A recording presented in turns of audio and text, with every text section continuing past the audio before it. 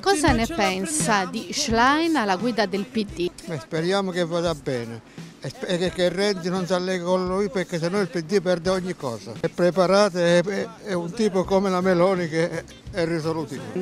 Io non, non, seguo la politica del PD, io sono di destra, quindi questa qui proprio non mi piace per niente da quello che dice. Una donna valida sotto tutti gli aspetti e penso che si dia veramente una, una ventata di novità al PD, auguriamocelo. Insomma, come diceva qualcuno in un noto film... Di una cosa di sinistra, di una cosa di sinistra, di una cosa di sinistra. Che dica qualcosa di sinistra, appunto. Una donna a capo del Partito Democratico, una donna come premier, insomma la politica è donna. Sì, sì, sì, sì ma questa è una cosa molto positiva.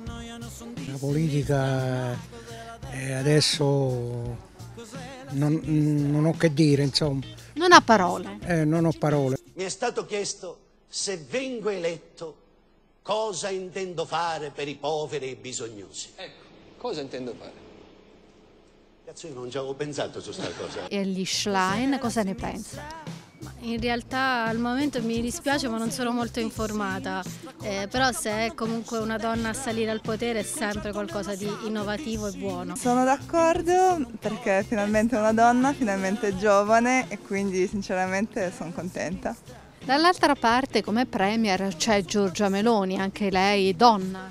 Sì è vero, però ecco, eh, non è quella che ecco, io voterei.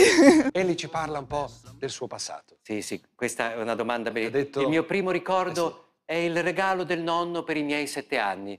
La Costituzione e i quattro codici commentati. Mi portai a scuola tutta fila. Chiunque ci va è, è sempre la stessa storia, non è che cambia qualcosa. A capo del Partito Democratico è andata Ellie Schlein. Cosa ne pensa? Eh, vedo che è una donna abbastanza attenta, ecco. Adesso non so che il dopo, però è molto attenta. No, no, lasciamo stare. Lasciamo. Non vuole parlare di politica? No, no, no, assolutamente. Io onestamente ho sempre, eh, vado sempre cauta nel, nei giudizi. La politica secondo lei è maschilista? Io non faccio distinzione tra uomo e donna, bisogna lavorare per questo nostro paese. Mo o porti il pantalone o la gonna, non ha importanza. Dici che arriva quello e non risolve i problemi ci sta Buonaccini è da preferire centomila volte a quell'altro. Quello, quello darà fastidio ma non concluderà nulla. Politica, che gli pigliasse un colpo a tutti.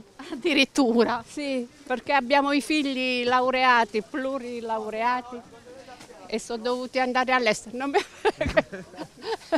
Quindi è arrabbiata.